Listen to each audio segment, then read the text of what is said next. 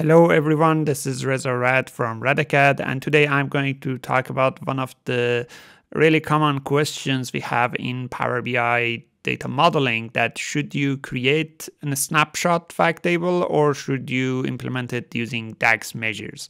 Let's see uh, what are pros and cons of each and answer that question.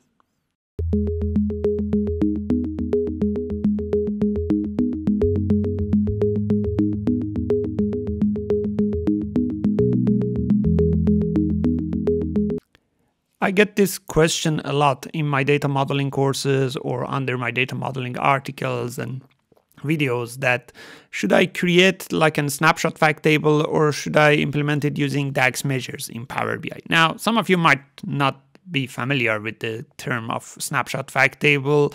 Uh, let me explain how what it is.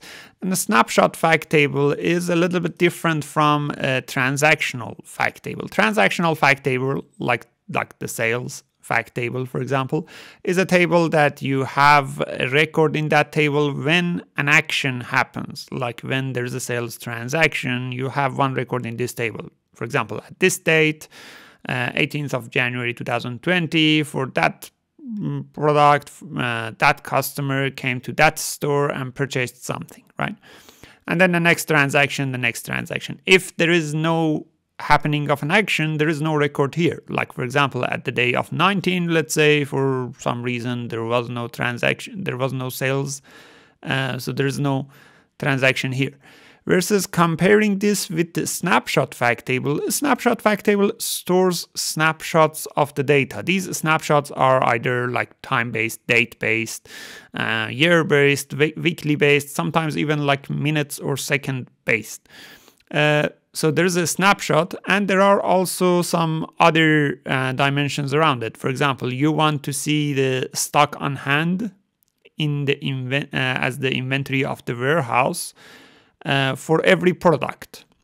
So we have the product column, we have the warehouse column, and for every date, we calculate how many of that products we have in that warehouse, what is the value these uh, highlighted records are, let's say, those dates that we had a change or a movement. But you see that even if there is no movement, for example, at the 19th of January, there is no movement. I still have that one record with that value.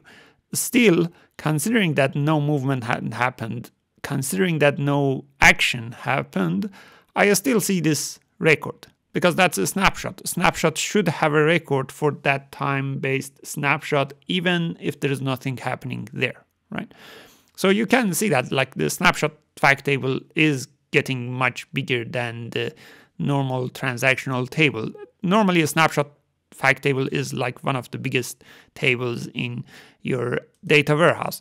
The size of a snapshot fact table really depends on how many dimensions you have in that table and what is the cardinality, which basically means what is the number of elements you have in each uh, dimension.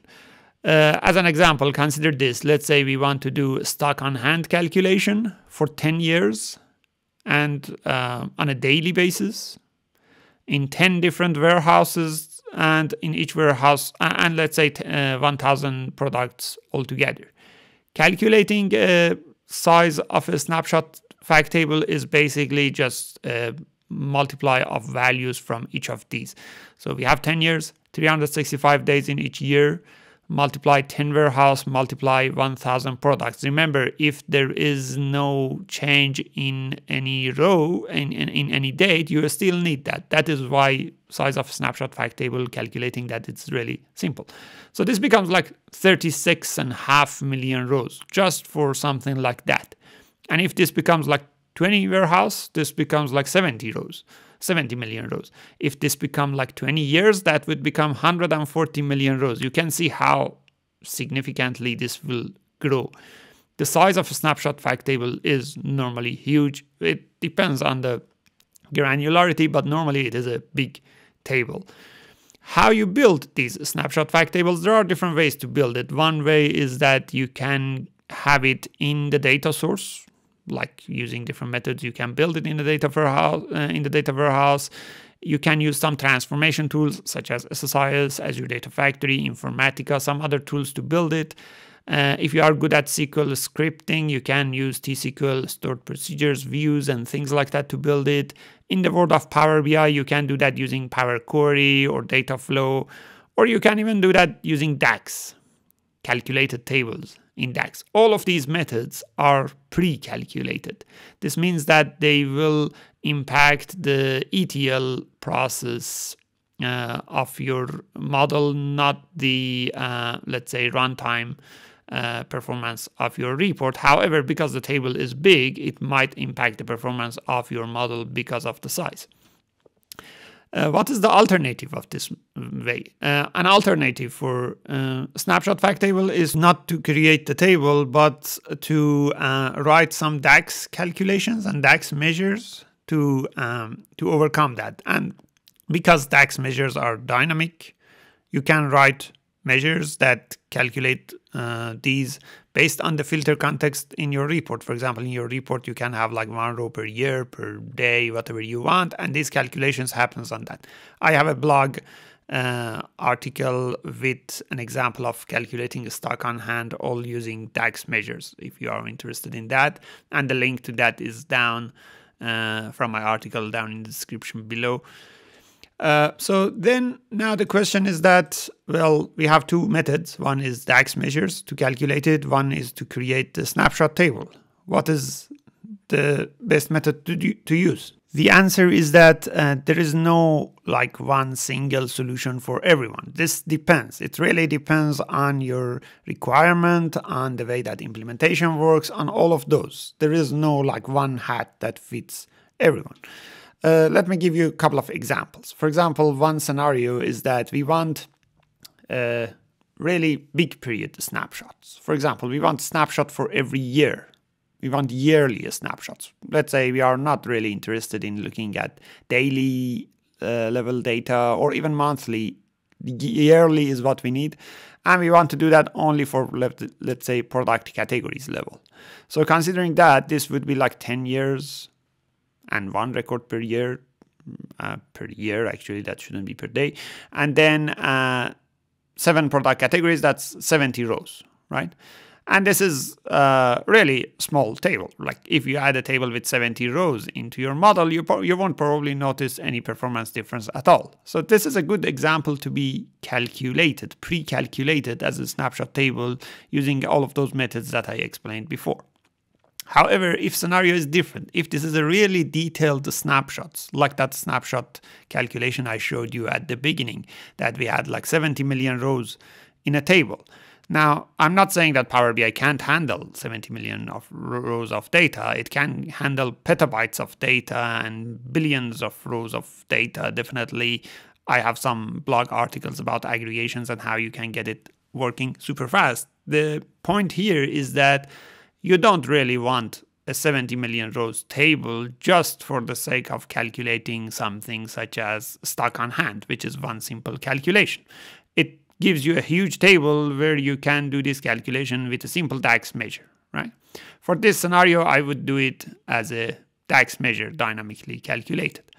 Now, how you can really choose which method to use, because those are just two sample scenarios. Your scenario might be totally different understanding the pros and cons of each model is important, like uh, each method is important. For example, if you do things in DAX measures, one of the good things is that you don't really need a huge snapshot fact table when you are using DAX measures because everything is calculated dynamically.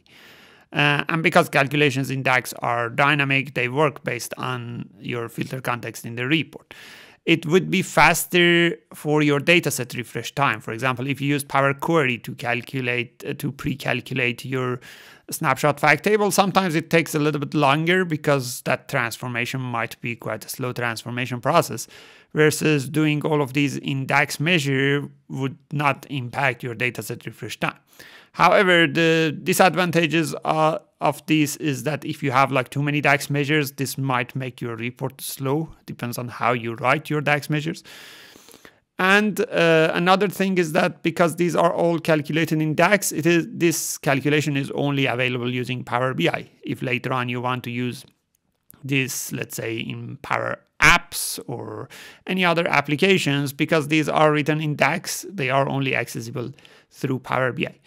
Uh, pros and cons of the snapshot fact table is exactly the opposite of that. So if you pre-calculate in a snapshot fact table, the good thing about that is that because these are all pre-calculated, you don't really uh, have any runtime performance problem of the report. There's no calculation happening runtime. Uh, another benefit is that because you are calculating it, pre-calculating it and storing it in table, you can even use that result in other applications. Depends on, again, which technology or which method you use to create that table.